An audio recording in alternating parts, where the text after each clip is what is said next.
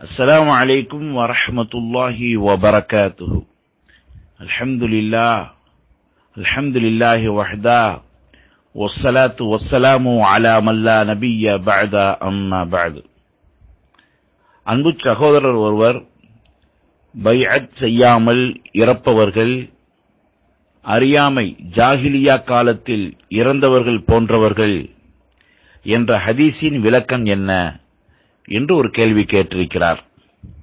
அன்பிற்குரிய சகோதரர்களே இந்த ஹதீஸுடைய விளக்கம் இஸ்லாமிய ஆட்சி செய்யக்கூடிய ஹலீஃபாவின் மீது ஒவ்வொரு முஸ்லீமும் பய செய்து அவர்கள் சொல்லக்கூடிய விஷயங்களை ஏற்று நடக்க வேண்டும்.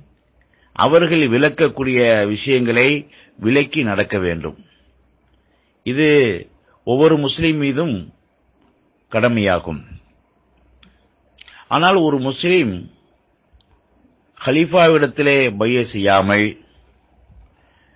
அவர் போக்கிலேயே நடந்தார் என்று சொன்னால் அவர் பரிபூர்ணமான முஸ்லீமாக இருக்க மாட்டார்.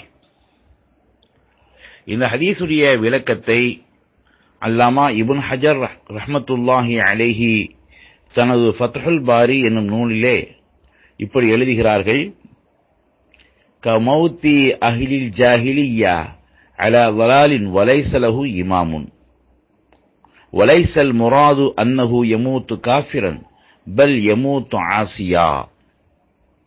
அதாவது எப்படி அறியாமை காலத்திலே உள்ளவர்கள் எந்த ஒரு இமாமையும் பின்பற்றாமல் வழி தவறி வாழ்ந்தார்களோ தவறான வழியிலே இருந்தார்களோ? அப்படிப்பட்ட அந்த அறியாமைக்காரர்களைப் போன்றே பையாச்சியாமல் வாழக்கூடியவர்கள் இருக்கிறார்கள். ஆக அறியாமைக்காரர்களுடைய பழக்கத்தில் இருக்கிறார்கள் என்றுதான் இந்த ஹதீஸினுடைய பொருளாகும். மாறாக இஸ்லாமிய ஆட்சியில் இருக்கக்கூடிய ஆட்சித் தலைவர் மீது பைய செய்யாமல் வாழக்கூடியவர்கள் அவர்கள் காபிராக இருக்கிறார்கள் என்பது இந்த ஹதீஸினுடைய கருத்தல்ல.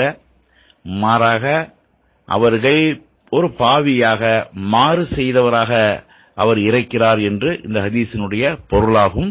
ஒல்லாஹு அலமு பி சவாபி